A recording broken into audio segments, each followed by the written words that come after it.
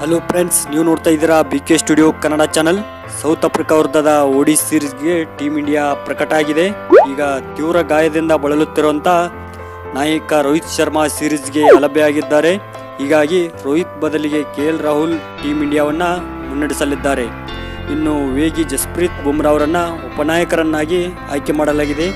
ಅಲ್ಲದೆ ಆರ್ ಅಶ್ವಿನ್, ಋತುರಾಜ್ ಗಾಯಕ್ವಾಡ್, ವೆಂಕಟೇಶ್ ಅಯ್ಯರ್, ಯಜುವೇಂದ್ರ ಚಹಲ್ ಹಾಗೂ ಇತರರು ಏಕದಿನ ತಂಡಕ್ಕೆ ಮರಳಿದ್ದಾರೆ. ಸೌತ್ ಆಫ್ರಿಕಾ ವಿರುದ್ಧದ ಓಡಿ ಸೀರೀಸ್ಗೆ ಒಟ್ಟು ಹದಿನಾರು ಸದಸ್ಯರ ಟೀಮ್ ಇಂಡಿಯಾ ತಂಡವನ್ನು ಆಯ್ಕೆ ಮಾಡಲಾಗಿದ್ದಾರೆ ಅವರು ಯಾರನ್ನೋದನ್ನು ನೋಡೋದಾದರೆ ಕೆ ಎಲ್ ರಾಹುಲ್ ನಾಯಕನಾಗಿದ್ದರೆ ಹಾಗೂ ಶಿಖರ್ ಧವನ್, ಋತುರಾಜ್ ಗಾಯಕ್ವಾಡ್, ವಿರಾಟ್ ಕೊಹ್ಲಿ, ಶ್ರೇಯಸ್ ಅಯ್ಯರ್, ಸೂರ್ಯಕುಮಾರ್ ಯಾದವ್, ಆಲ್ರೌಂಡರ್ ವಿಭಾಗದಲ್ಲಿ ವೆಂಕಟೇಶ್ ಅಯ್ಯರ್ ಅವರು ಕೂಡ ಆಯ್ಕೆಯಾಗುವಲ್ಲಿ ಯಶಸ್ವಿಯಾಗಿದ್ದಾರೆ. ಕೀಪರ್ ಕಮ್ ಬ್ಯಾಟ್ಸ್ಮನ್ ವಿಭಾಗದಲ್ಲಿ ರಿಷಬ್ ಪಂತ್ ಮತ್ತು ಇಶಾನ್ ಕಿಶನ್ ಅವರನ್ನು ಆಯ್ಕೆ ಮಾಡಲಾಗಿದೆ. ಇನ್ನು ಸ್ಪಿನ್ನರ್ಗಳ ವಿಭಾಗದಲ್ಲಿ ಅನುಭವಿ ಆರ್ ಅಶ್ವಿನ್, ಯಜುವೇಂದ್ರ ಚಹಲ್ ಹಾಗೂ ಯುವ ಆಟಗಾರ ವಾಷಿಂಗ್ಟನ್ ಸುಂದರ್ ಅವರನ್ನು ಆಯ್ಕೆ ಮಾಡಲಾಗಿದೆ. ವೇಗಿಗಳ ವಿಭಾಗದಲ್ಲಿ ಜಸ್ಪ್ರೀತ್ ಬೂಮ್ರಾ ಅವರನ್ನು ಆಯ್ಕೆ ಮಾಡಲಾಗಿದ್ದು, ಉಪನಾಯಕನ ಜವಾಬ್ದಾರಿಯನ್ನು ಕೂಡ ಅವರಿಗೆ ವಹಿಸಲಾಗಿದೆ.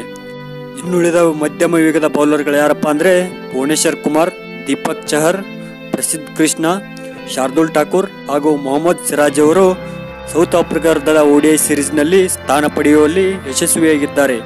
ಹಾಗೂ ಈ ಮೂಲಕ ಸೌತ್ ಆಫ್ರಿಕಾ ವಿರುದ್ಧದ ಓಡಿಐ ಸೀರೀಸ್ಗೆ ಭಾರತ ಬಲಿಷ್ಠವಾದ ತಂಡವನ್ನೇ ಆಯ್ಕೆ ಮಾಡಿದೆ. ನಿಮ್ಮ ಅನಿಸಿಕೆ ಅಭಿಪ್ರಾಯಗಳನ್ನು ತಪ್ಪದೇ ಕಮೆಂಟ್ ಬಾಕ್ಸ್ನಲ್ಲಿ ತಿಳಿಸಿ. ಚಾನಲ್ ಸಬ್ಸ್ಕ್ರೈಬ್ ಆಗಿರಿ. ಧನ್ಯವಾದ.